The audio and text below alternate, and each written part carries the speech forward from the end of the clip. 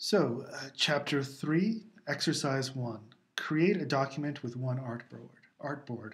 First off, we're going to go into Adobe Illustrator, and I'm going to go into File, New, and it'll bring up the New Document dialog box.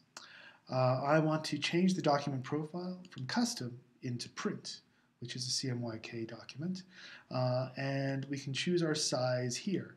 But specifically what I want to do is I want to make something that's 8 inches by 8 by 8 inches. inches. Right now it's set to points. PT means points. And we see the units here. We're going to go down and change uh, the units to inches. And we PT turns into an IN. We're going to make our document 8 inches by 8 inches. And so this is an 8 inch by 8 inch whiteboard or artboard that we're creating. I'm going to press OK and we're going to see that created. So here's the space that I have to work with.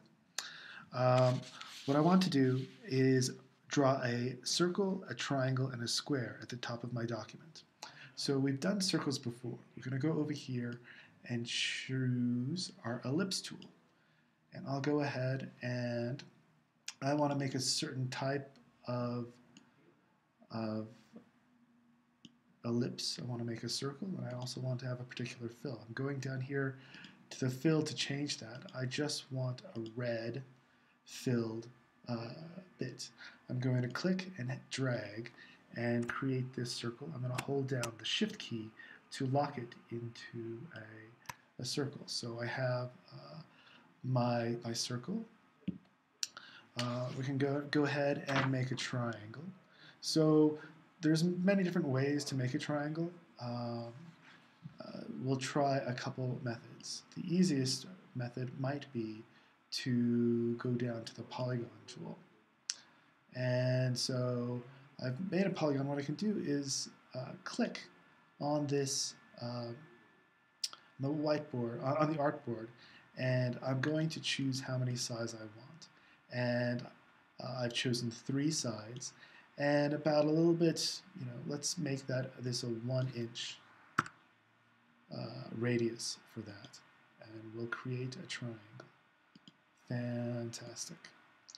So, and then the next bit is to create a square. We can go back to our shapes tool and pull up the rectangle tool. And I'm going to go in and create a square just like that. So I've got um, three shapes. What I want to do is go ahead and um, I'm going to do a little extra. I'm going to pull up the ruler tools by holding down the um, command button and tapping the letter R, which will bring up the ruler tools. Uh, I can also go up to view and show and hide rulers. Then I'll show you the command R is, is a tool there. What I want to do is I want to sort of align these things, and this is sort of beyond um, the exercise a bit. But I want to put a couple markers down so that I can see how large these things are. And then I want to go ahead and pop these shapes to those baselines.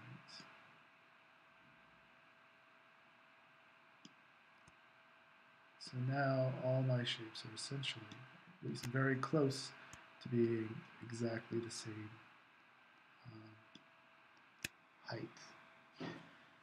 And so there we go. I can, how do I get rid of those uh, alignment lines? I'll select them and press delete on my keyboard. So now I've got these nice regular shapes. I'm going to go ahead try to align them a, a little bit visually. Actually, also, since they're not perfect, I'm going to go ahead and align them um, horizontally on center. And um, yeah, that's just one possibility.